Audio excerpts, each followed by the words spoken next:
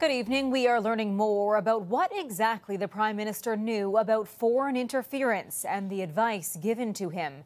Justin Trudeau's inner circle testified at the public inquiry today. The gatekeepers during two previous elections did not recommend any action to counter Chinese meddling. CTV's Judy Trinh reports.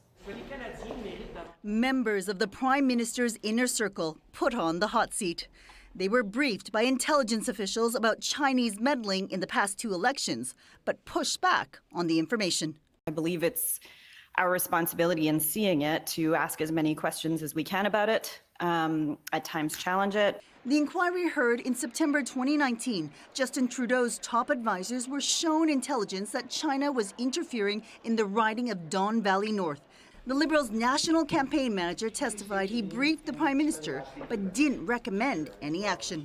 And based on what I thought was should be an extremely high bar for overturning a democratic um, result, I had recommended to the Prime Minister that no action be taken. To all my colleagues in the Parliament, the inquiry also heard that after intelligence leaks suggested that Dong told a consulate official to delay the release of the two Michaels, Trudeau's team wanted to release other information to help clear the MP's name, but couldn't. The conclusion was no, this it's it cannot be made public. So we couldn't actually, um, in a clear way, defend and defend Han Dong against this allegation, which was wrong. Between June 2018 and December 2022, there have been 34 CSIS briefings revealing China clandestinely and deceptively interfered in both the 2019 and 2021 elections, and that cabinet, senior government, and top election officials were briefed.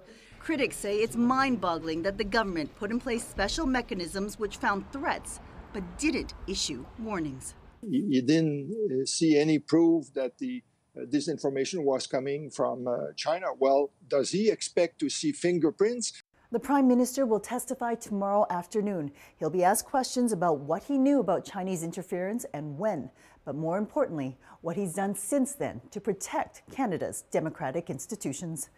Heather. Judy, thanks.